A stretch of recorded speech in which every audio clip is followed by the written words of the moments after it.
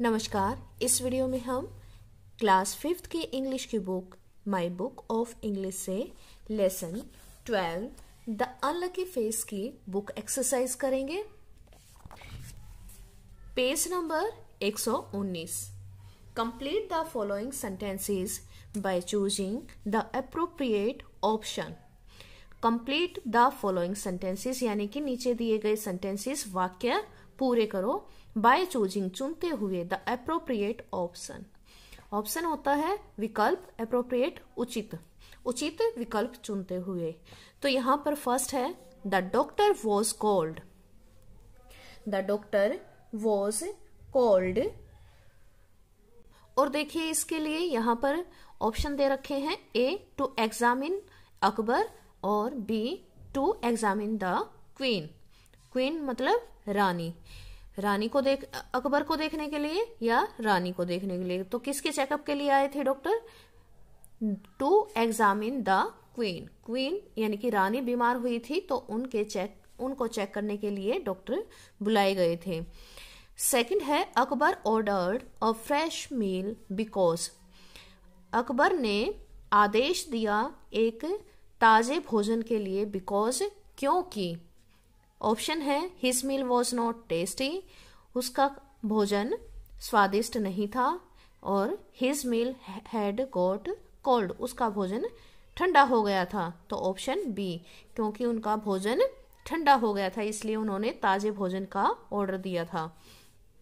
Akbar fail इल अकबर बीमार पड़ गए बिकॉज़ क्योंकि he didn't he hadn't eaten anything the whole morning क्योंकि उन्होंने सुबह कुछ भी नहीं खाया था। He had seen Hira Chand face तो उन्होंने हीरा चंद का चेहरा देख लिया था। तो क्या आएगा?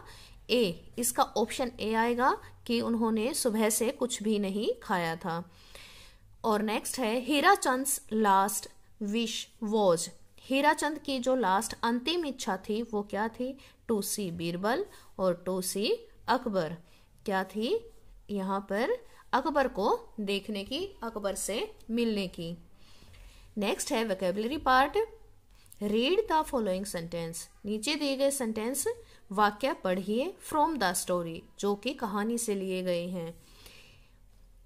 इट वॉज़ सेड यह कहा गया है दैट एनी वन कोई भी who saw his face would go without food that day जो कोई भी उसका चेहरा देख लेता है तो उसे पूरा दिन भोजन नहीं मिलता। इन दिस सेंटेंस इस वाक्य में द वर्ड्स इन बोल्ड जो बोल्ड हैं एनी वन और without anyone and without are formed by joining two words दो शब्दों का जोड़कर बनाए गए हैं। देखिए any one any one with out without.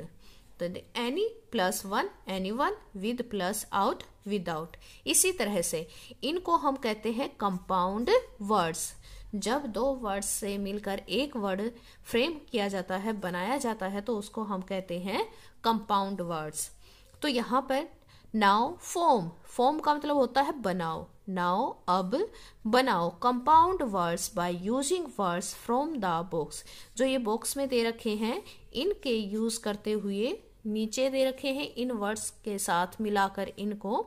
हमें क्या बनाने हैं? कंपाउंड वर्ड्स बनाने हैं। तो चलिए बनाते हैं। देखिए फ़र्स्ट वर्ड है हेड हेड और यहाँ पर वॉश वॉश का मतलब होता है धोना मेड बनाया। वाइट चौड़ा टेबल मेज वर्ड शब्द डे दिन हुड थिंग चीज़ या वस्तु लाइंस लाइंस हेड तो इसको हम जोड़ेंगे लाइंस के साथ हेड लाइंस मुख्य समाचार होते हैं तो उनको हम बोलते हैं हेडलाइंस पास देखिए यहाँ पर है word password white wash white wash क्या होता है? सफेदी रंग रोगन होम मेड घर का बना हुआ। होम मेड घर का बना हुआ। चाइल्ड हुड चाइल्ड हुड क्या होता है? बचपन। टाइम टेबल टाइम टेबल क्या होता है? समय सारणी। वर्ल्ड वाइड वर्ल्ड वाइड दुनिया भर में एनी थिंग एनी थिंग कोई भी चीज़ एवरी डे एवरी डे प्रतिदिन। हेडलाइंस मुख्य समाचार पासवर्ड पासवर्ड व्हाइट वॉश सफेदी होममेड घर का बना हुआ चाइल्डहुड बचपन टाइम टेबल समय सारणी वर्ल्ड वाइड संसार में एनीथिंग कोई भी चीज़ या वस्तु एवरीडे प्रतिदिन। Page number 120 make as many compound words as you can by combining words from the books one has been done for you ये देखिए न्यूज़ और पेपर को मिलाकर यहाँ पर बन गया न्यूज़पेपर तो इसी तरह से हमें यहाँ पर और भी कंपाउंड वर्ड्स बनाने हैं। अब यहाँ पर हम देखते हैं ब्रश और ब्रश के साथ क्या मिला सकते हैं हम? ये देखिए टूथ है। तो इसको हम पहले लिखेंगे टूथ ब्रश क्या बन गया अगला हमारा? टूथ ब्रश नेक्स्ट है एनी वन एनी वन मतलब कोई भी। और सम के साथ भी वन जोड़ देंगे तो एक और कंपाउंड वर्ड बन जाएगा समवन समवन का भी मतलब होता है समवन कोई भी। और फिर है, अब ये देखिए ग्रैंड है और मदर है। तो हम इसको इकट्ठा लिख सकते हैं ग्रैंड मदर और यहाँ पर देखिए granddaughter D A U G H T E R और ग्रैंड फादर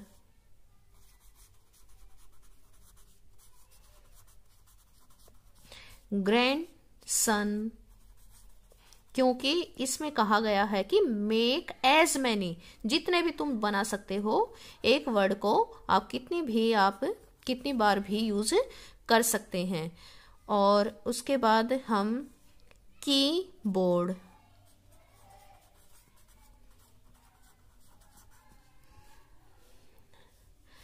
ये सम है और यहाँ पर वेयर है तो यहाँ पर आ जाएगा समवेयर, कहीं भी।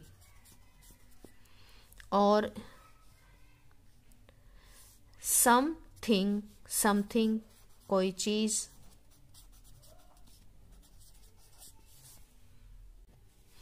और सम को फिर से हम हाउ के साथ जोड़ देंगे। सम, हाउ, कैसे भी।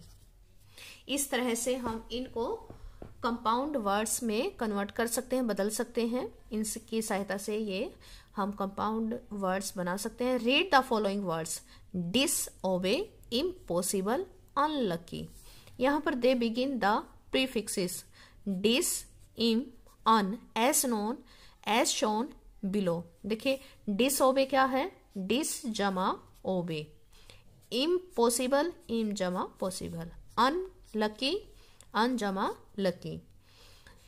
और फिर है मेक द अपोजिट अपोजिट क्या होता है? उल्टे शब्द। ऑफ़ द फॉलोइंग वर्ड्स नीचे दिए गए जो शब्द हैं, इनके अपोजिट बनाने हैं बाय एडिंग अप्रोप्रिएट प्रीफिक्सेस जिस तरह से ये प्रीफिक्स लगाए गए हैं डिस इम अन इसी तरह से इन वर्ड्स में हमें प्रीफिक्स लगाने हैं और प्रॉपर टेबल में लिखते हुए किसके आगे डिस लगेगा, किसके आगे इम लगेगा और किसके आगे? अन लगेगा।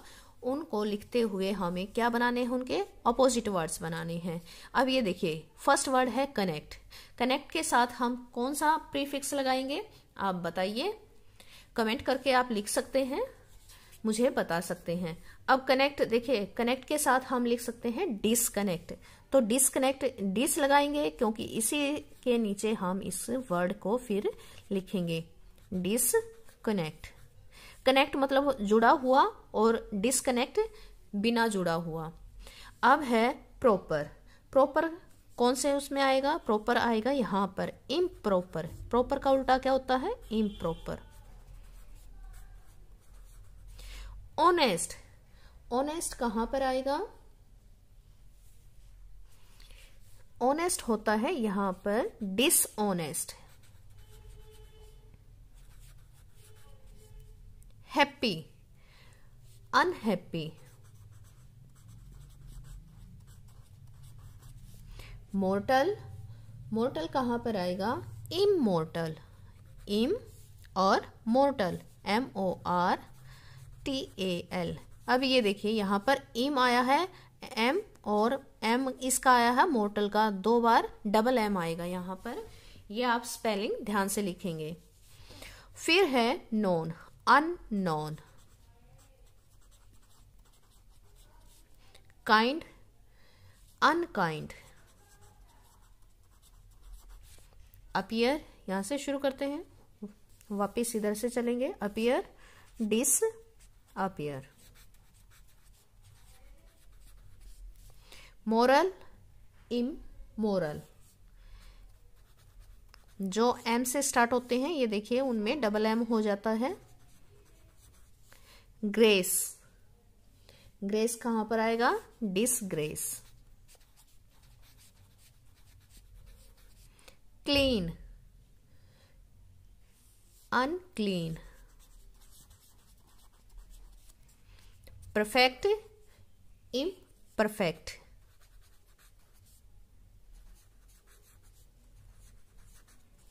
और उसके बाद है able disable balance. Imbalance.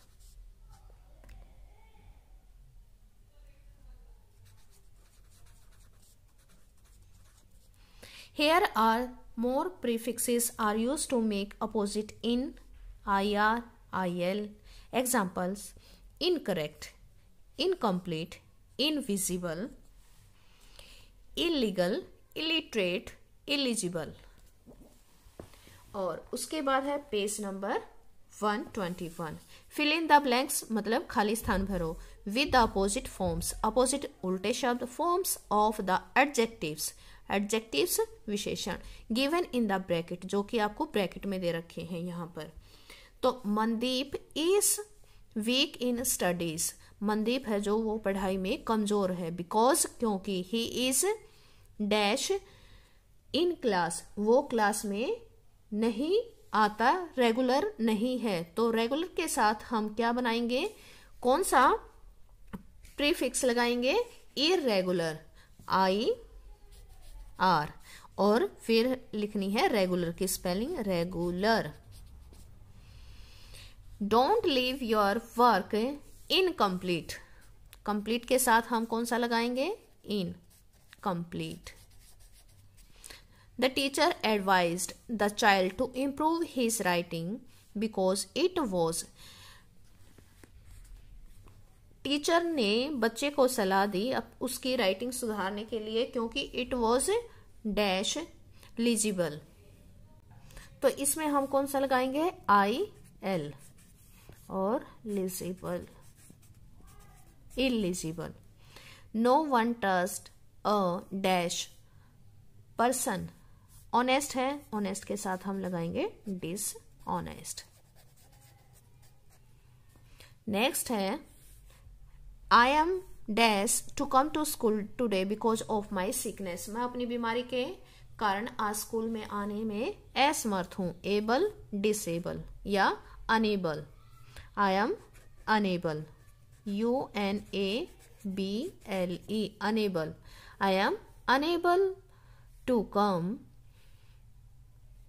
to school today because of my sickness if you work hard अगर तुम मेहनत करते हो nothing is impossible I M और फिर लगाना है हमें पॉसिबल नेक्स्ट है write words with the same sound but different in meaning देखिए same sound same sound but different in meaning and spelling spelling भी अलग होनी चाहिए मीनिंग भी अलग होना चाहिए, लेकिन साउंड एक जैसी होनी चाहिए. One has been done for you जैसे ये है होल ये डब्ल्यू से स्टार्ट होता है, लेकिन इसमें डब्ल्यू साइलेंट है.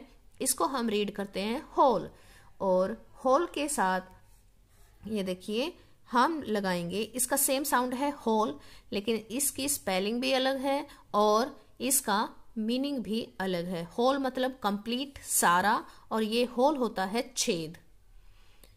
और ये है बर्थ और इसका हम लिख सकते हैं बर्थ। ये बर्थ जो रेल का डिब्बा होता है, वो वाला और बर्थ होता है जन्म। फेयर और फेयर का मतलब फेयर का हम लिखेंगे फेयर। फेयर मतलब साफ़ और फेयर होता है बस का किराया, बस आदि का किराया। सफ़र में जो हम बस की टिकट, ट्रेन की टिकट लेते हैं वो। नो। नो मतलब जानना। और इसका सेम साउंड वर्ड होता है नो इसका मतलब होता है नहीं। बाय बाय के द्वारा बाय मतलब के द्वारा।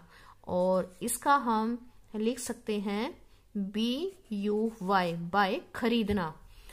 न्यू न्यू मतलब नया। और इसका सेम साउंड वर्ड होगा न्यू जानना, जाना। सी देखना। और सी समुद्र। हील भरना और ये हील होती है एडी मेड बना हुआ और मेड, यानी कि जो सर्वेंट होती है, नौकरानी।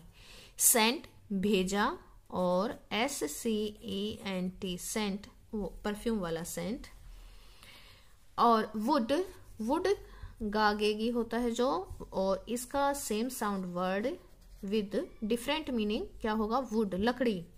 ऑफ़ बंद और ऑफ़ काके की। सो so, इसलिए और सो मतलब बीज बोना। मेड नौकरानी और मेड बना हुआ। सेल और इसका हो जाएगा सेल यानी कि जो सेल लगती है। नेक्स्ट है grammar. Read the sentence. Let's call Birbal.